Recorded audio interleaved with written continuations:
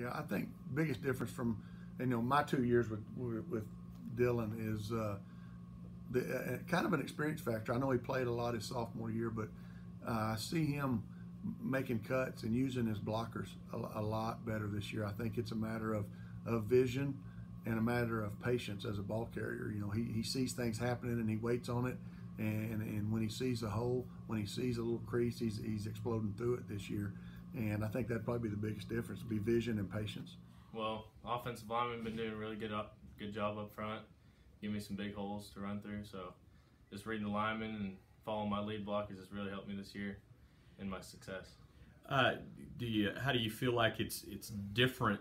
Just you have a better understanding this year of what's going on there. Yes, sir, and a little more trust in my linemen, getting to know them better and stuff, and every practice and every day.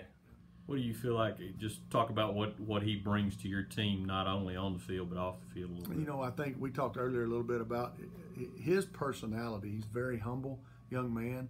Uh, he's a hard worker. He's very competitive, and I think that that that creates a, a good teammate. You know, uh, the offensive line. He, he's a running back you'd like to be out there blocking for because you know if you get a hole, he's going to get yards, and he's very humble with his attitude about the success that he's having as an individual, like being the conference leader in, in rushing yards. What about uh, playing both both both ways? Was there any uh, thought? I mean, when they talked to you and said, "Hey, we're going to need you to play defense too." Oh, I was ready for it. I was excited actually. I mean, playing offense for the past three years.